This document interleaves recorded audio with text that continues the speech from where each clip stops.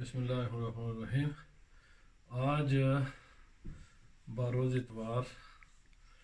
نور T V پر، Manchester میں، London میں، برنفورڈ میں اور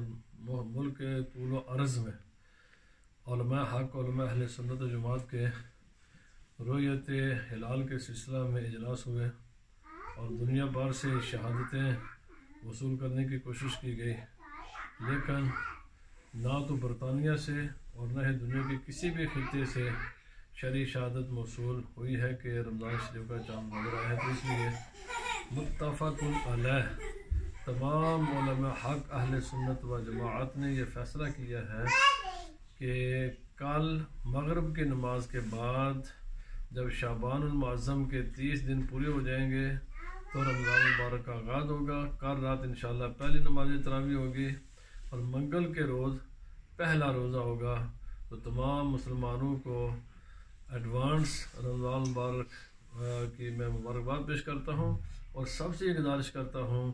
کہ احکام شرعیہ اللہ اس کے رسول کے احکام سب سے پہلے ہیں۔ جو لوگ نبی پاک صلی اللہ علیہ وسلم کے شریف کے خلاف یہ نام نہاد علماء اس قسم کے اعلانات کرتے ہیں، ان ایسے علماء کے اعلان کی قطن کوئی ذرہ برابر کی کوئی شریعت نہیں ہے اور ان پر عمل کرنا بھی گناہ کے مترادف ہے یہ لوگ صرف نبی پاک صلی اللہ علیہ وسلم کی امت میں فتنہ ڈالنا چاہتے ہیں، انتشار پیدا کرنے کے لیے کرتے ہیں۔ تو ایسے علماء کے پیچھے